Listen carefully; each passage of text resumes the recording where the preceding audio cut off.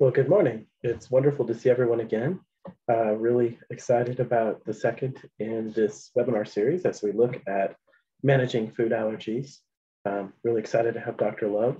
So please, if you are able to, where you're at, um, turn on your camera so that everyone can see each other. Um, and also during today's session, please feel free um, to put questions in the chat or to unmute yourself uh, to ask questions of anything that you, you would like related to this topic. So with that, I'll hand off to Dr. Love and good to see you again on this very warm December day. All right, wonderful. Thank you so much for joining everyone. Um, and uh, just briefly about myself, I am one of the allergists at the University of Kansas um, Medical Center, and I see both children and adults in our allergy and immunology clinics. And so um, I have this uh, wonderful opportunity today to talk to you about um, our second session on managing food allergies. Don't have any conflicts um, to disclose today. And then um, just wanted to let you know that everything I'm presenting today is based on evidence-based medicine. Uh, as a reminder, after the session, please um, upload your demonstration video. You'll get a reminder about when to do this. It's typically around four weeks after the, um, the session. And then uh, just like last time, the slides and resources will be emailed to you. Um, and finally, um, thank you so much for participating in our study. We're trying to see um, how our study can um, teach folks how to manage food-induced anaphylaxis in the school setting and seeing how telehealth can contribute to that. Um, so we already had our first session about introduction to food allergies, and today we'll really get into the recognition and management of food allergies so that we hope that you'll gain more confidence in managing a food reaction in your schools. Um, this is some, I think, logistics that I think um, most of you are familiar with. Um, I think many of you have already submitted a video of yourselves demonstrating how to use the injectable epinephrine trainer. Um, and then again, after about four weeks from today, you'll get asked to uh, conduct a follow-up survey and then submit another video of yourself demonstrating how to use that trainer again for each video that you've submitted, uh, you should be receiving an electronic gift card. So if you haven't, please let um, us know. Um, we'll skip this page. Okay, so getting right into it. Um, so today's objectives, I'll briefly touch on uh, identifying food allergy reactions and then um, how allergists diagnose food allergies, and then finally how to manage food allergies uh, particularly in the school setting. So um, just as a reminder, what's the definition of food allergy? So this is an immune response. So it's an abnormal response to a certain food triggered by the body's immune system. And typically our immune system fights against infection. However, with food allergy, the immune system makes a mistake and it thinks that the food is harmful instead and that food becomes known as the allergen or food allergen. Now, symptoms of a food allergy can really be a wide array of um, various things. And this was based on over a thousand um, double-blinded placebo challenge, uh, placebo-controlled food challenges. And the most common symptom that you'll see when someone has a food reaction due to a food allergy is some type of cutaneous or skin manifestation. So it can be worsening of eczema, it can be urticaria or hives, it can be a red rash. Um, then typically it will be um, usually GI symptoms or respiratory symptoms. And based on this um, large study, GI was the second most common. So abdominal pain, vomiting, diarrhea. And then respiratory symptoms, you're very familiar with cough, wheezing, sneezing. Um, sometimes it can include upper respiratory symptoms, so runny nose, nasal congestion, um, itchy, watery eyes. And then any combination of all of those things. Uh, can also happen. And I wanted to point out that not all um, food reactions are IgE mediated. So, what do I mean by that? So, when I talk about true food allergy, there is an allergy antibody um, against that food, and it uses the IgE as its mechanism to create the symptoms.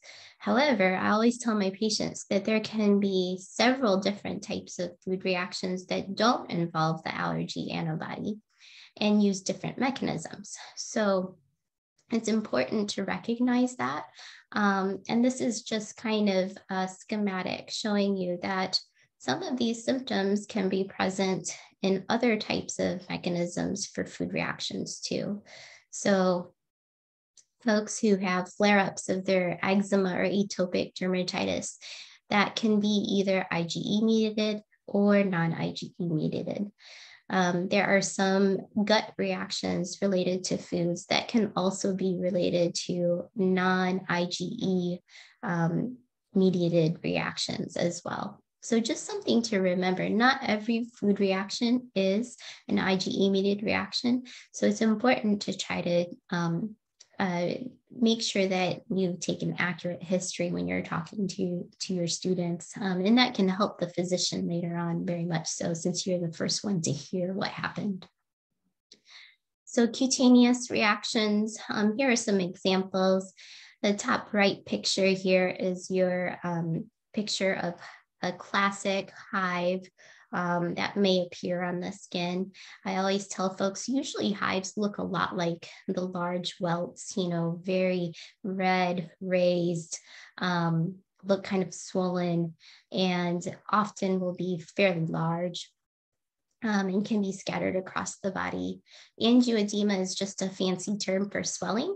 And so you see this young child on the bottom right here with uh, swelling of his eyelids. Um, his upper and lower eyelids. And so that is a typical finding that you might see after eating um, a food allergen.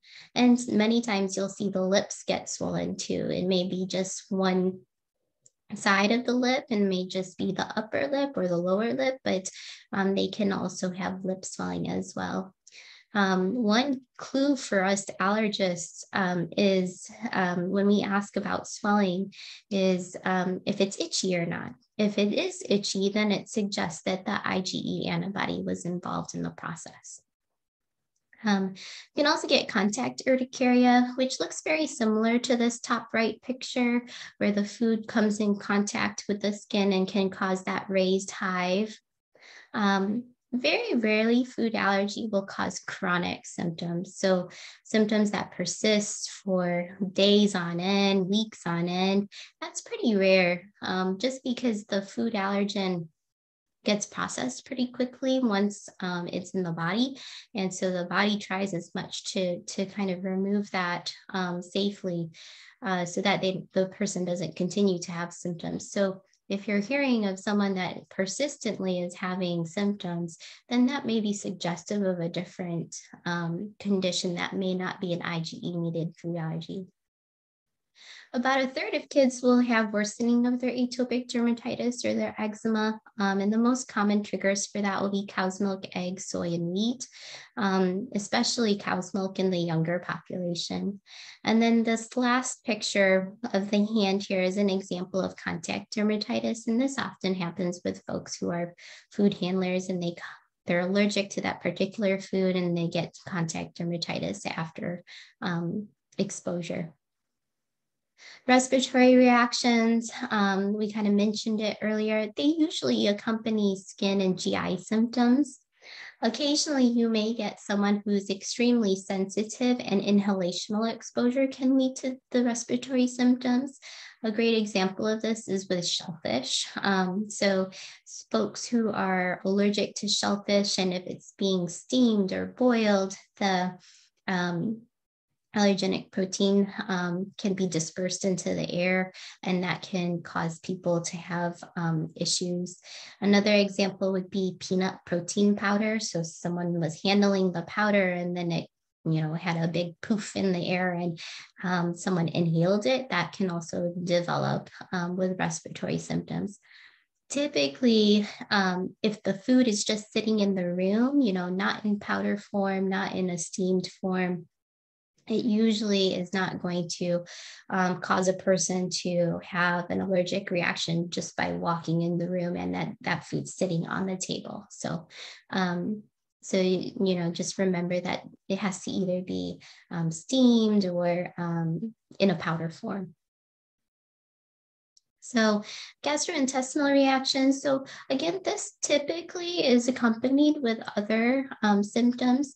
Shellfish has been known to sometimes just cause GI symptoms, um, is especially shrimp and crab and lobster, and it will show up as um, persistent acute vomiting, um, terrible abdominal pain, and they will just vomit, vomit, vomit immediately after eating um, that particular food. Uh, so food allergy is the number one cause of anaphylaxis in the emergency department. Um, typically, studies have shown around 150 deaths per year. Most of the time, they're um, these would be rapid in onset. Uh, about 30% can have a biphasic reaction. So what that means is they have their initial reaction and then um, they get better after treatment. About four to six hours later, they have a second round of anaphylaxis or severe allergic reaction symptoms. Any food can really cause anaphylaxis. Um, however, there are a few that are higher risk and that'd be peanuts, tree nuts, seafood. And then the younger population, you're thinking about, you know, kindergarten and younger, um, cow's milk and egg can be a very um, common trigger for food an- induced anaphylaxis. Um, I wanted you to be aware of a certain condition, which is um, food dependent exercise induced uh, or exercise induced anaphylaxis.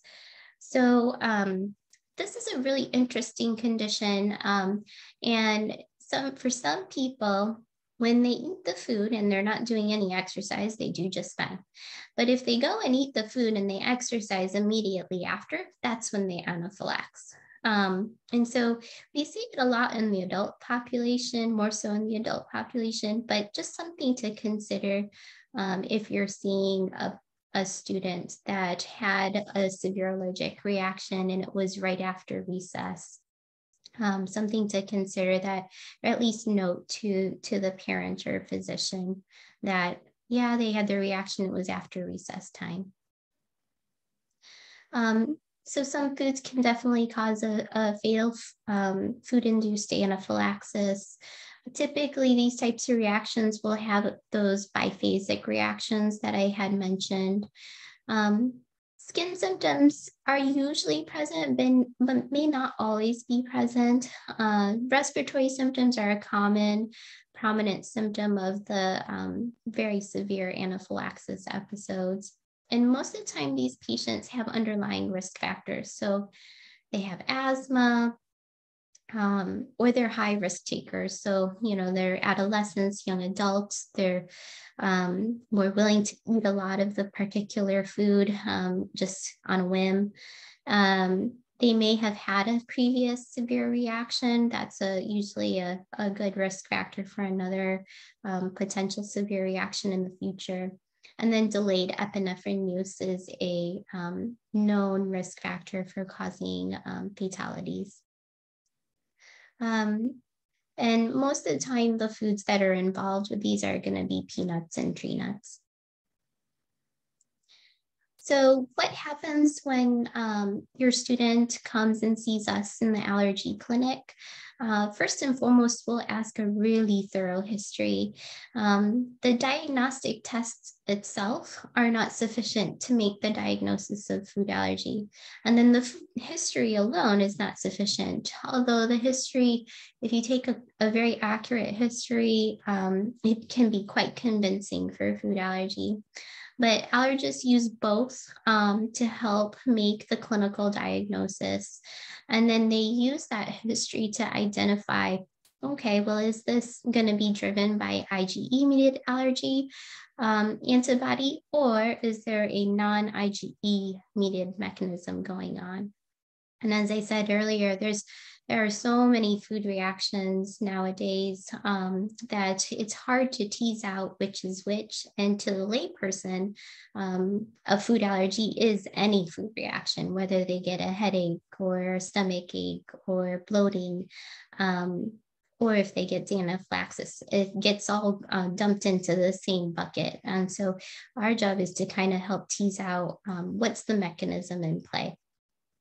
So typically we'll ask about what symptoms they had, what was the timing of the symptoms, um, when, when did they eat the food, how many minutes or hours afterwards did they have their symptoms start, um, how long did the symptoms last, is it the first time they ate the food or is it the second or third or subsequent time they eat the food? Has it happened multiple times? Um, if it's reproducible, that's definitely something that would be more concerning of a true food allergy. What was the treatment? Um, and you know, how, how did that treatment help? Um, concurrent risk factors, you know, like I had mentioned, exercise can be a contributing factor. Um, other things that can be a contributing factor to lower the threshold of anaphylaxis might be alcohol, but that wouldn't apply for our school age kids. Um, in certain um, pain, pain, medications like NSAIDs. Um, sometimes the um, the details are very difficult to recall for the patient and the family. And so that's where again you're you can be very helpful because you're the first one to respond um, to that student and ask some of these detailed questions for us. You know what did they eat? You know what packaging was it in? What or like what brand of food did they eat? Often hidden ingredients um, are overlooked. And so if I can at least find out what brand they ate, I can go back later and look up the ingredients um, and see if there was egg or soy hidden in that product. Um, the physical exam can be very helpful as well, um, just like the pictures we had talked about and kind of identifying was it hives or was it a more of like a contact dermatitis? Did they have lip swelling or eyes, eyelid swelling? Um, if we suspect that it is driven by the IgE allergy antibody, we actually don't do broad panel food testing without supporting history.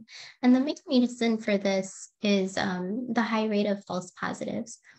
There used to be a big um, push to do broad panel food testing where you just go into the allergist and they would do you know 10 15 food allergy tests but that has been really kind of moved away from in our field um, so we typically will just test to the potential culprits um, that we think might have caused that specific reaction. And we can do that through skin testing or in vitro blood testing. Um, but as you can see, it's quite sensitive, 50% specificity, however, and about 50% false positives. So the test alone is not enough to diagnose someone with food allergy. And more often than not, you'll get false positives. So what does the test mean then? Um, the test means that the, there is presence of the IgE um, antibody. However, when someone develops a food allergy, it means that they've lost their oral tolerance to that, um, to eating that food.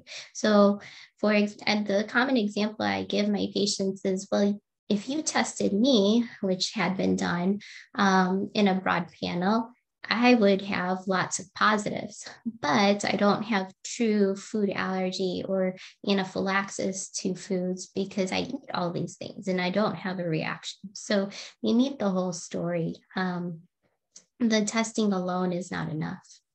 Um, some people ask me, okay, well, I had the skin testing done, I had the blood testing done. Um, is is bigger more severe? And the answer is actually no. Um, it's it's very hard to to um, explain it to the patients, but it really just correlates with likelihood of reaction, not necessarily severity. Now, the one good thing about these tests, you noticed that it was 90% sensitive. So, um, what that means for negative predictive value is that if it's negative, you can trust that it excludes the IgE allergy antibody. And most likely the reaction is likely not um, IgE mediated.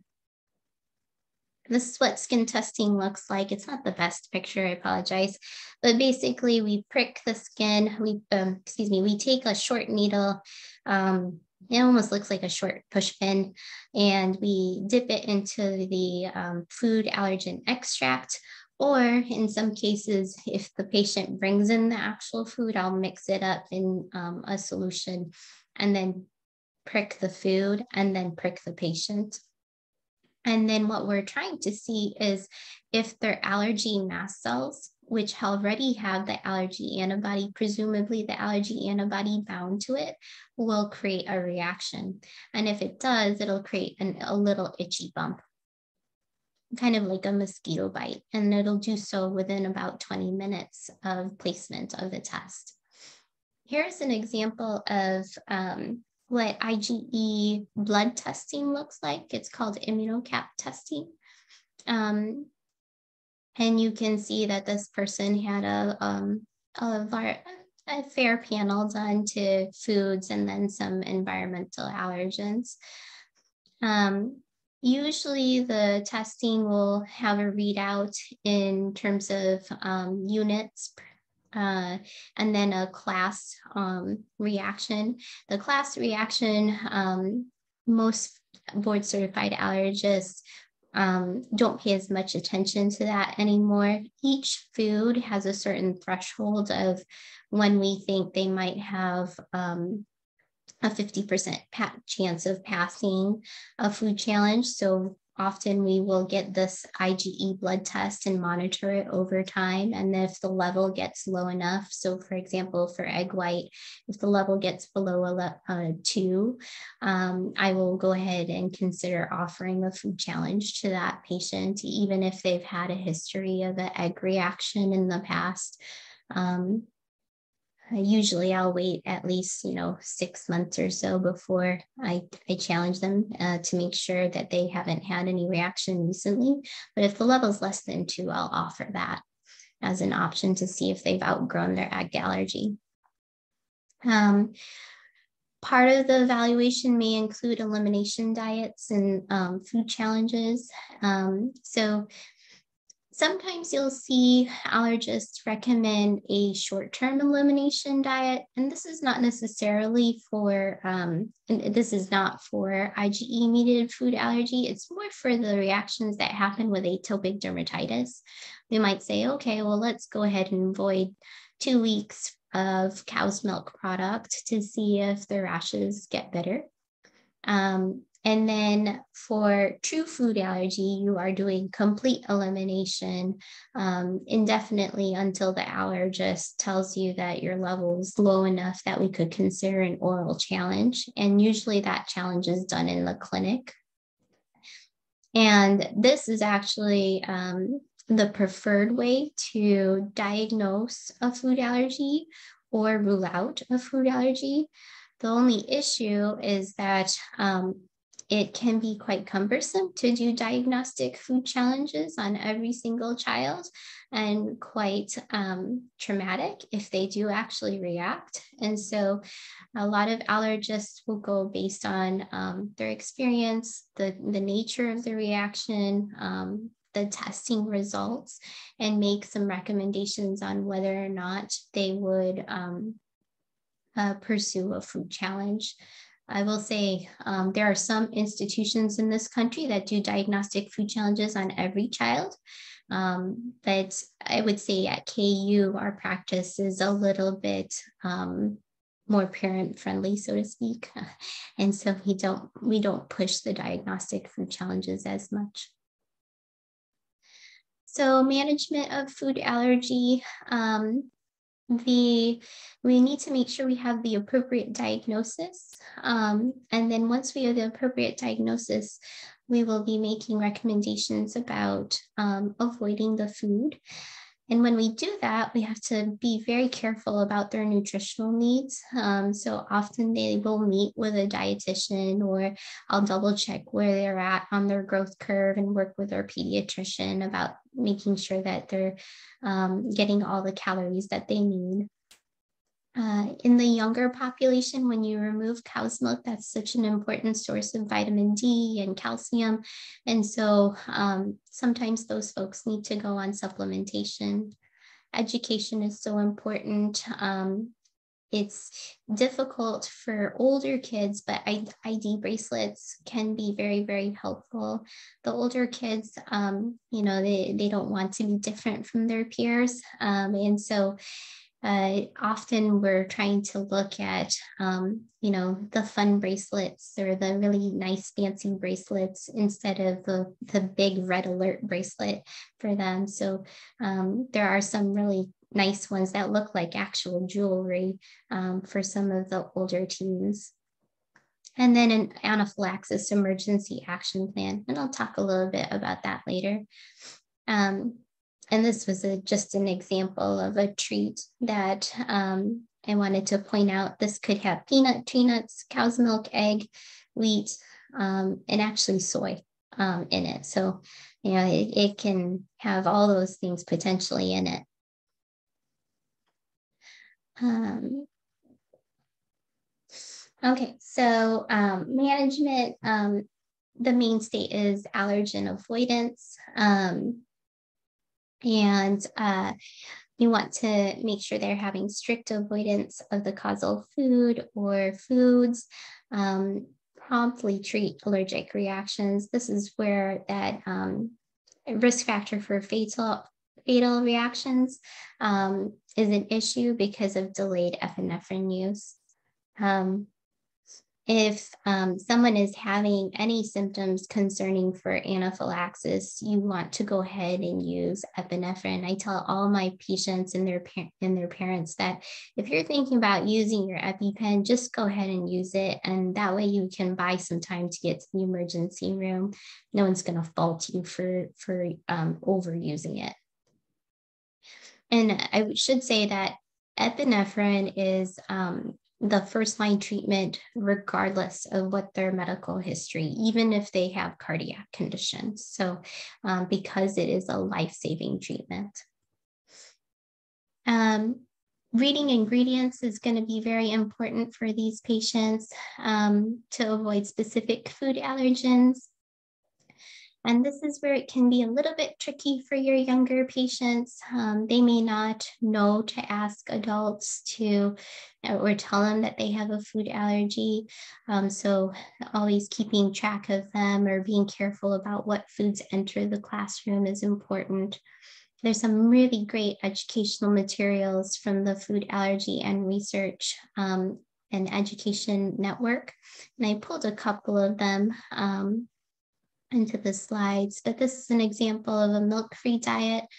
And you can see in this top section here, all the different types of ways milk can be in a food. Um, and it, it's not all very um, obvious, in my opinion. Um, so someone who, you know, doesn't have health literacy at grade level nine or uh, or higher may not know to look for these things. Um, so there's there's a lot of education that needs to be done and reinforcement from several different medical professionals can be very helpful since we know that um, you know at the first visit the parents really can't retain a whole lot of information because they're just getting bombarded with so much information about managing a food allergy um, so this is an example for milk. Um, oh, I wanted to point out, someone asked me about this the other day. If you're allergic to cow's milk, uh, do you have to avoid other mammalian milks? Um, and the answer is yes. Um, there's enough cross reactivity between goat's milk, sheep's milk. Um, you don't see it as much here, but if, if it was a Middle Eastern family, um, mare milk, camel milk. Um, there's enough cross reactivity between the allergenic protein in cow's milk and these other types of animals' um, milk that they could technically have um, allergic reactions to those too. So the recommendation is to go ahead and avoid all of those milks and switch the patient over to plant-based milk. Um, this is an example of an egg-free diet. Um, the ones that often people forget about is mayonnaise, especially if it's homemade, meringue, um, the marzipan and marshmallows can sometimes have egg in it.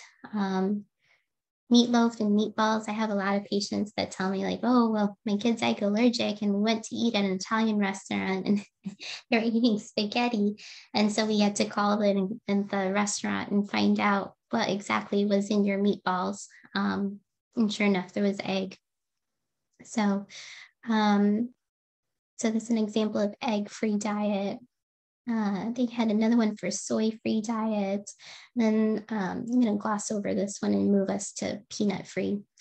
Um, so here are examples of peanut-free diets. Um, and some of these, these things I, um, I wasn't as familiar with. So um, like the goobers or the beer nuts um, uh, can, can have peanut in them, monkey nuts. I think people are pretty good nowadays about asking about peanut oil. Um, not all patients um, who have a peanut allergy will react with peanut oil, but it is something to kind of just be careful with. Um, and I think the peanut is um, often found in so many different African and Asian foods. And so that's where folks usually get into trouble is they've gone out to eat at an Asian restaurant and it, it was cross-contaminated. Okay. So um, let's talk a little bit about food labeling. Um, so one thing I wanted to point out is there is this um, this act from 2004 that does require the labeling of major allergens. So your peanut, tree nut, shellfish, cow's milk, egg, soy. Um, it does require that um, be labeled on the food product. However, the FDA does not regulate the may contain or manufactured on equipment with um, labeling. So so that's not regulated. Um, so it may be accurate, it may not be accurate. Um, it may be on there, it may not be on there. Um, and so it causes a lot of confusion for families. Um, and so I always tell them just be extra careful if it says, um, if they do include it, or it um, the other thing is the patient or the family really needs to read through the fine print of each individual ingredient to, to kind of scan and see if their food allergen is in that um, product. There was a study um, that showed uh, a sample of 400 foods that was looking for the presence of um, milk, egg, or peanut uh, and trying to see if um, the labeling was appropriate. Um, so 5% of the products with, with advisory levels, but with advisory labels had the detectable protein in it. So it had the food protein in it that it was supposed to be avoiding.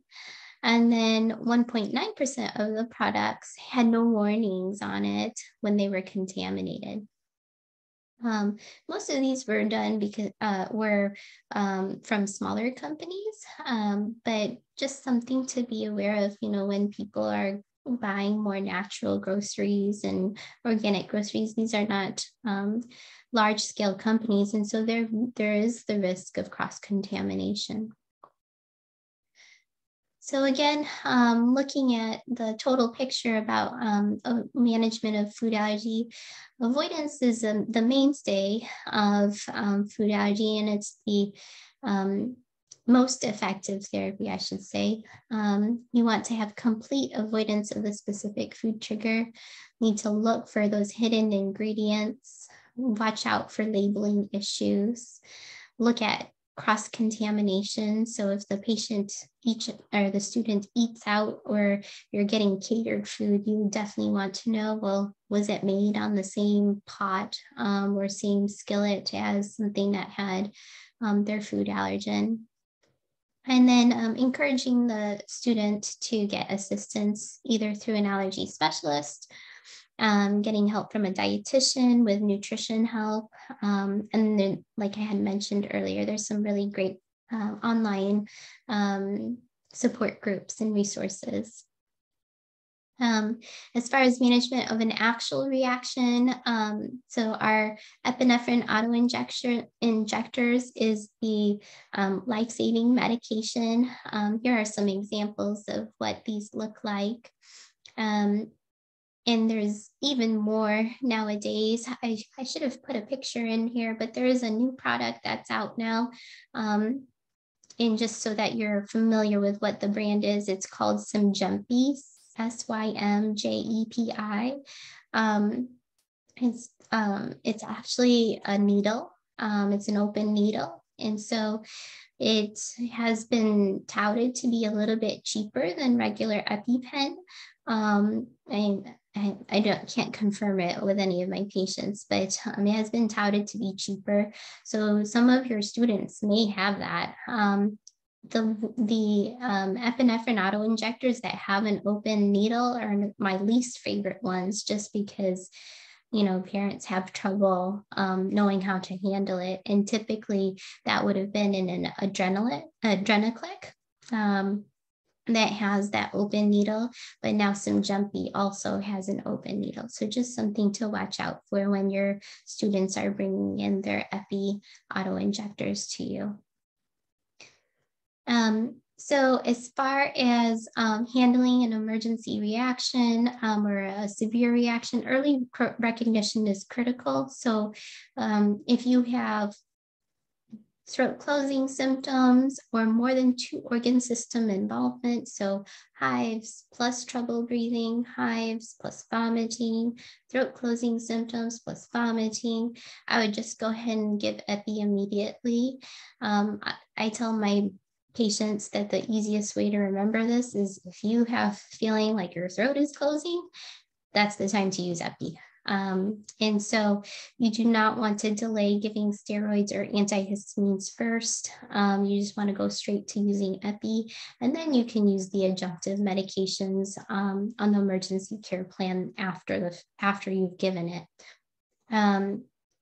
As always, you know, the schools are very good about training everyone right at the beginning of school about how to use EPI. Um, but it's important to make sure that everyone is familiar with it, knows how to use it.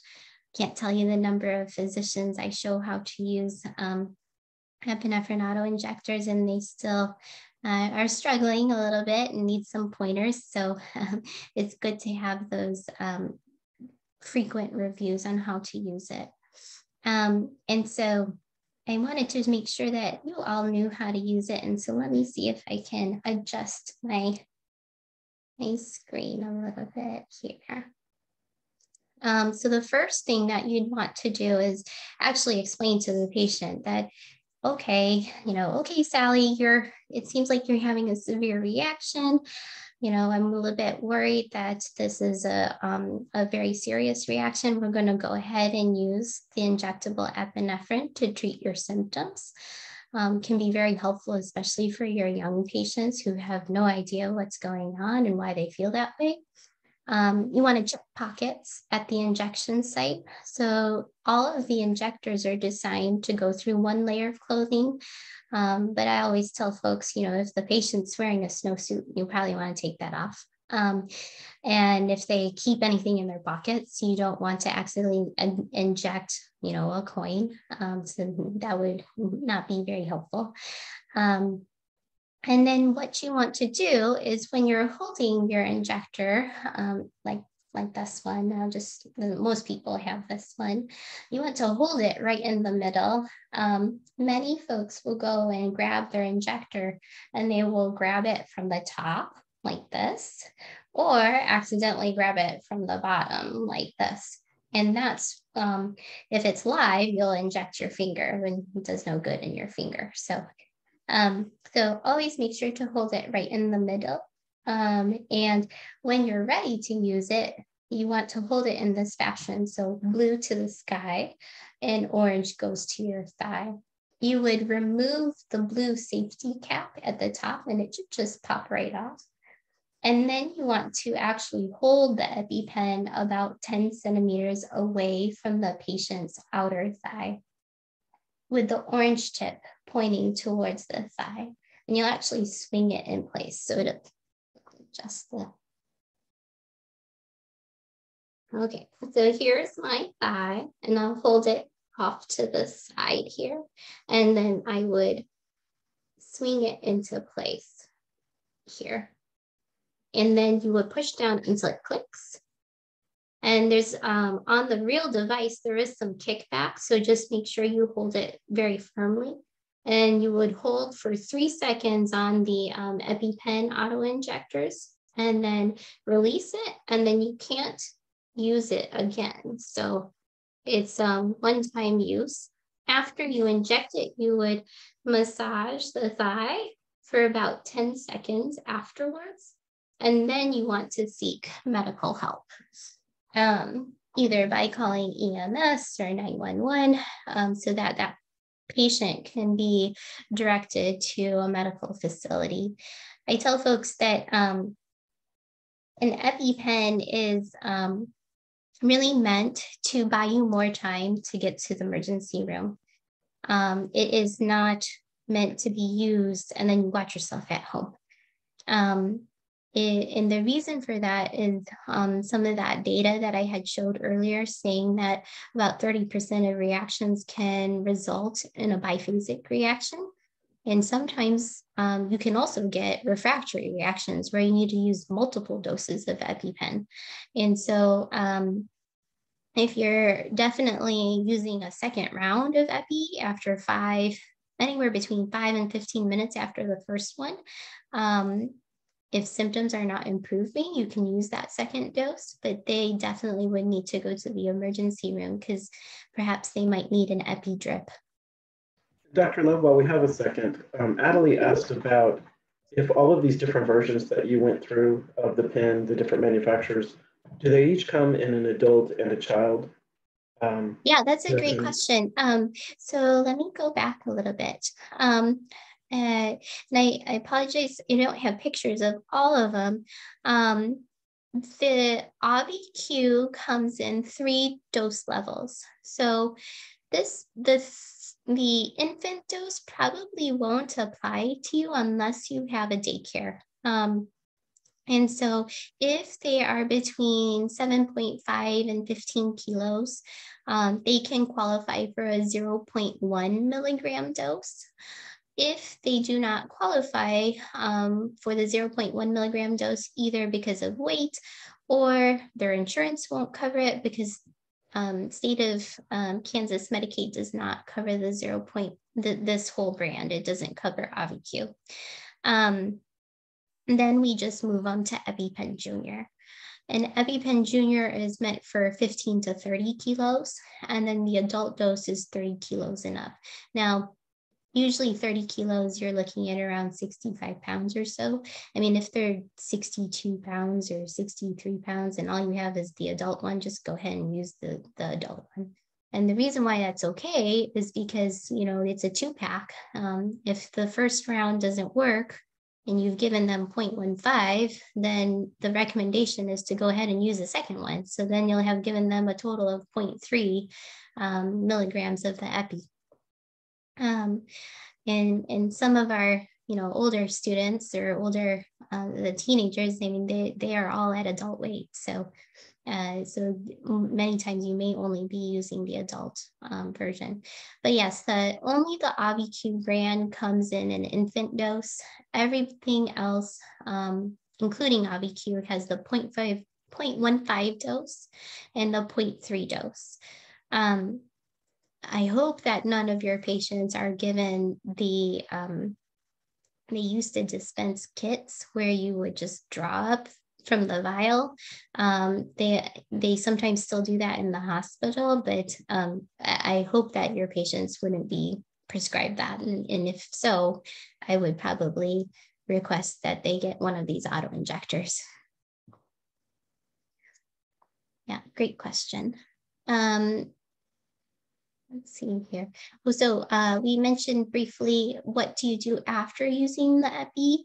Um, obviously call 911, ask for an ambulance um, that does have epinephrine in case that patient or student needs to use, needs more epinephrine um, en route to the hospital. Then you actually want to lay the patient flat if possible. Um, with their legs slightly raised. And the purpose of this is to um, allow um, circulation to come back to the heart more easily. Um, if they are not breathing well or are vomiting, then you can consider laying them on their side, typically left side. Um, some patients, when they're in an anaphylaxis reaction, they truly cannot lay, lay back. And, and you try to lay them back, and they will really um, fight against it. And so for those patients, um, especially like the patients with a lot of respiratory issues, um, I just have them kind of sit up a little bit. Um, and then again, if symptoms don't improve, you can use a second dose. Um, after you've given the epinephrine, you can give the adjuvant medications, so your antihistamines, um, H1 blockers, H2 blockers, for me, I usually like to use cetirizine um, instead of Benadryl. The reason for that is it's longer acting, is not as sedating as the Benadryl um, or diphenhydramine, um, and it's um, it's usually a medication the patient already has anyways um, if they have a history of atopic conditions. So um, it's usually something that they already have. H2 blockers would be, um, uh, for example, like famotidine or Pepcid, um, and ranitidine, although ranitidine was um, off the market for a little while.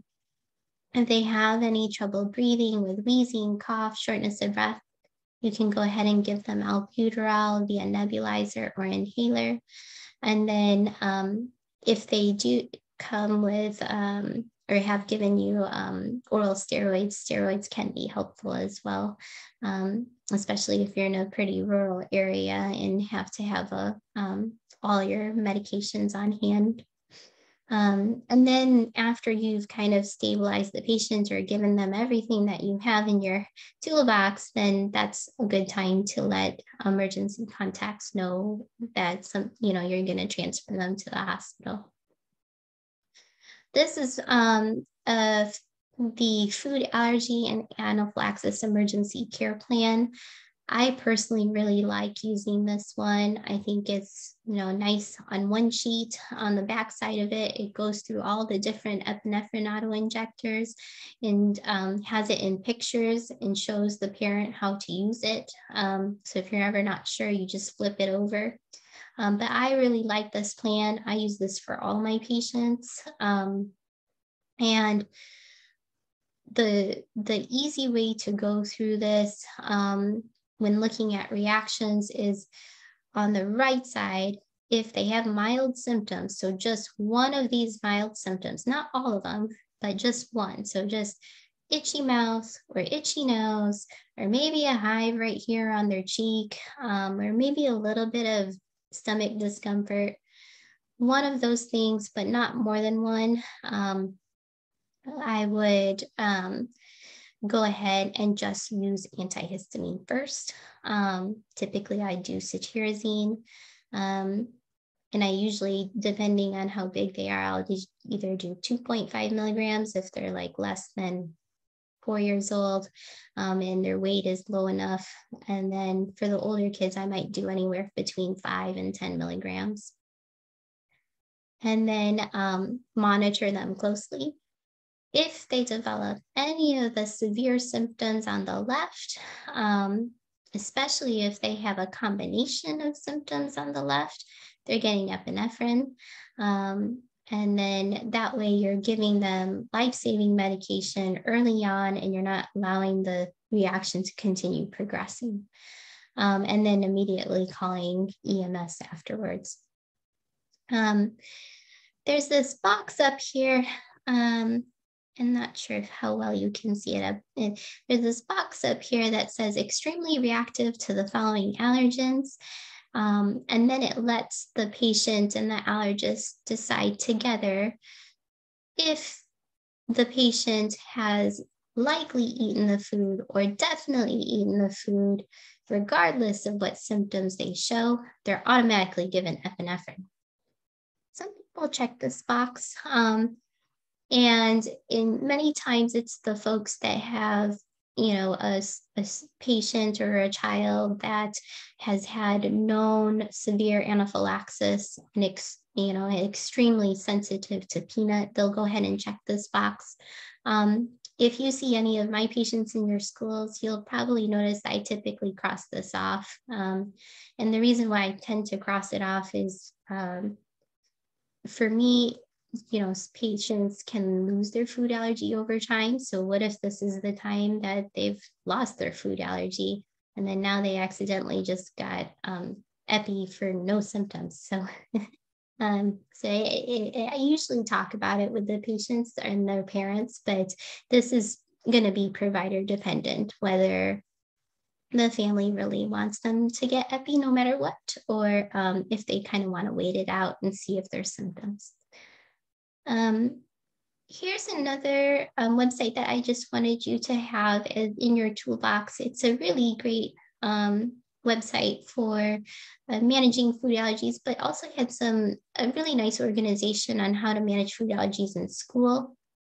Um, and the thing that I really wanted to point out is, you know, these families should be meeting with you before school starts or at the beginning of school um, so that there's a clear understanding of, okay, well, when is the nurse going to be at school? Where's the epinephrine kept? Um, how is the staff trained? And these are questions that the, the parent's supposed to be asking. Um, how are allergic reactions handled? But the key thing I wanted to point out also is um, how bullying is handled. Um, you know, there's newer research data that shows lots of patients with food allergy in the school setting are dealing with bullying. And it's it does cause quite a bit of mental distress for for everyone. Um, and so that is something to be aware of with your food allergy patients that they may be getting singled out and um, you may be the first one or the only one to have noticed it. So um, if that happens it's good to let the the, their parents or allergists know. Uh, there are a few novel therapies that are in the works. Um, so oral and sublingual immunotherapy.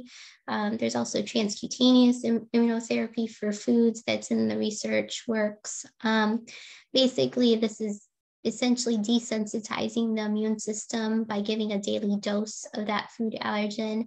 This being mostly studied in peanut, milk, and egg, but there's more studies looking at tree nuts, shellfish, etc.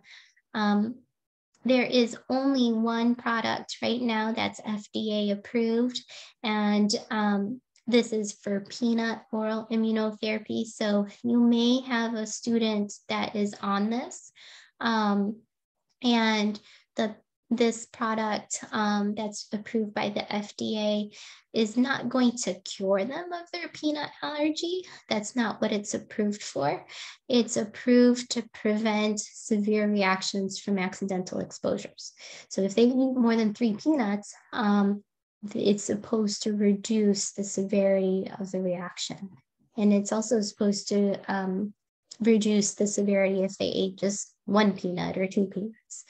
Um, now, oral immunotherapy is a long, long endeavor for many families. Um, and there's a lot of uh, stipulations to doing this type of treatment. So it's you need a highly competent family, you need a patient that's compliant because they need to take the dose every single day at the same time, cannot work out afterwards, cannot be on their menses, etc. So often the dose is done after school um, and so, uh, since you know you, at school you can't control like when they run around and things like that, so often the dose is done after school um, with the family. But just something to be aware of if you have patients who or students that are going through this that.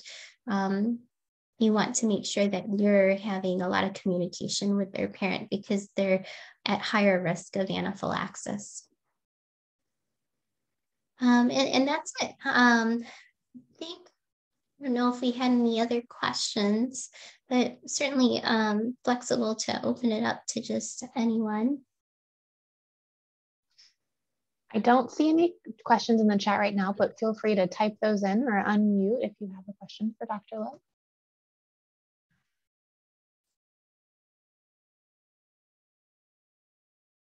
Oh, perfect. Um, I think, you know, certainly if you have any questions down the road, um, feel free to email me. Um, and I, again, I just really appreciate all of you participating in our study so that we can learn how to best um, help school nurses and um, similar providers on how to manage anaphylaxis in the school setting. Great. And Christy, I don't know if you want to follow up with um, just a reminder of what will be coming. Absolutely. So um, we'll be right after the session, we will send um, slides and the recording. And then four weeks from today, we will send a request for you to fill out the last and final survey and submit your um, last video submission. And then anyone who just did this round of video submissions, I will be processing and sending your Amazon gift cards next week. So watch for those in your email as well. Lots of stuff coming to you through email. Great. Well, thanks everyone. We appreciate it. And uh, hopefully, um, you know, please feel free to reach out to us if you have remaining questions and we can pass those on to Dr. Love. So I hope everyone has a great weekend. It's a beautiful day.